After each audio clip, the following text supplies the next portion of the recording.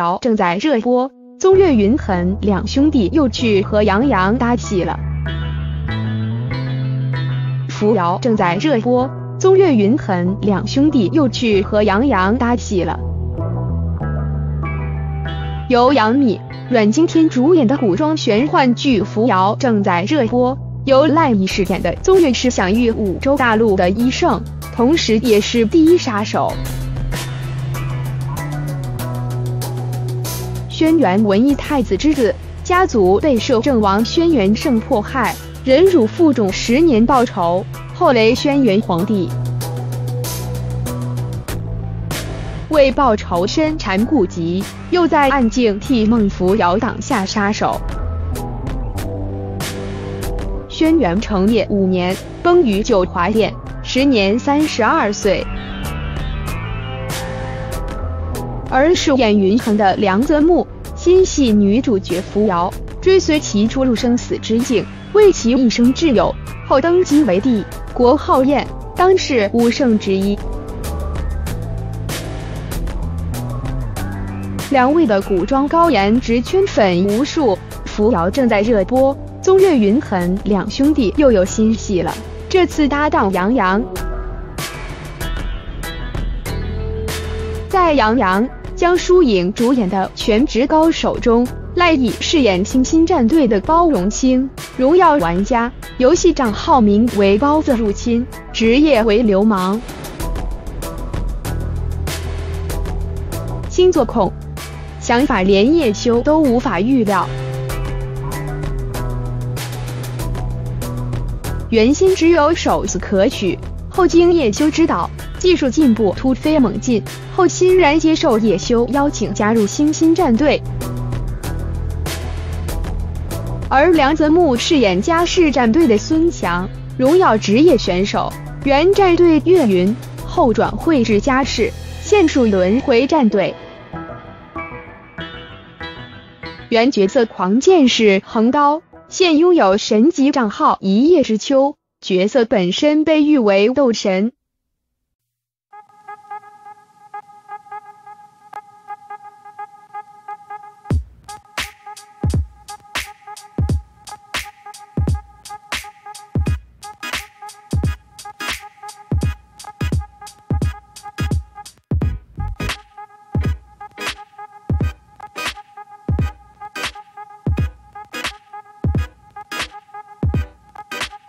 扶摇之后，赖艺、梁泽木新剧来袭搭档杨洋，你期待吗？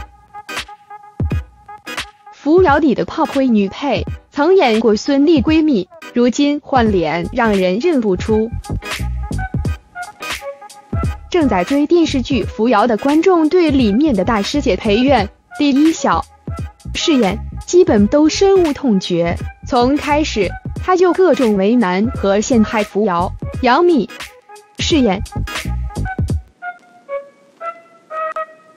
可他却对大师兄燕京晨、黄有明饰演一心一意、忠心耿耿的爱他，并且为得到他的爱想方设法做了很多坏事。在前两天的剧情中，他把扶摇和燕京晨绑起来，给了他们一包毒药，让他们选择两人中必须要死一个。当他看到燕京晨为了扶摇服下毒药后，满脸的悲痛，这场戏也让观众看到了李一晓的演技。最终，他却被自己身边的婢女阿烈所害。可当阿烈准备刺死大师兄时，他仍是强撑刺死了阿烈，也结束了自己在扶摇里的戏份。他曾和兄弟杨洋搭戏，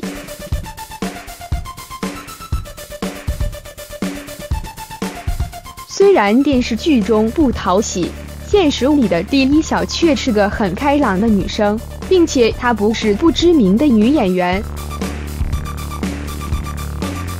她曾出演过多部经典作品，搭档过孙俪，也做过杨洋主演的电视剧中的女主角。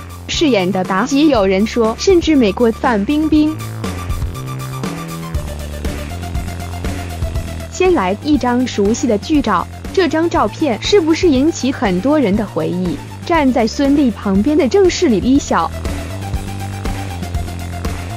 在《新上海滩》，黄晓明、孙俪主演中，李一晓饰演了冯程程的闺蜜，古灵精怪的汪月琪，给观众留下深刻印象。其实这部剧不是李一晓和孙俪合作的第一部戏，还有经典剧《甜蜜蜜》，孙俪、邓超饰演李，也能看到他的身影。李一晓出道后演了很多剧的配角，也正是因为这些小角色磨练了他的演技，直到前几年的《封神英雄》中，她担任女主角。饰演了经典美人苏妲己这个角色，让李一晓一时间名声大噪。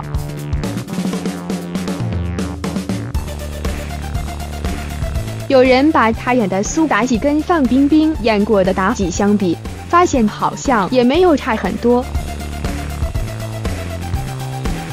还有《新洛神》，杨洋、李一晓、张怡主演李，她是人人都爱的珍妮姐姐。跟杨洋有一段很甜的对手戏，她变脸后让人认不出。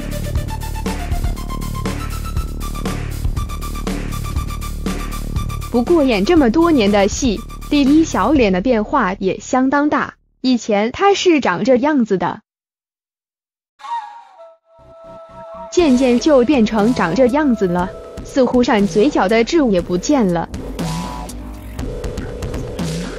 而李一小脸变化的一个转折点，据网友爆料，跟他和叶璇之前发生的事情也有关系。二零一四年九月，尹小天举办生日聚会时，李一小和叶璇都有参加，并且叶璇还带了两条狗。这两条狗见到李一晓就将他扑倒，导致李一晓被送往医院后脑缝合了二十多针。这是也是当年的一个热点，因为之后性格直爽的叶璇直接开撕了李一晓，说是他先醉酒，非要拉着自己的狗拍照，并且这事上了法庭后，还是叶璇方胜诉了。今年的李一晓已经三十五岁，虽然变过脸，美貌依旧，一点也看不出老气。从他微博来看，他心态也很年轻，经常会晒自己的日常照，这才是对生活最好的仪式感吧。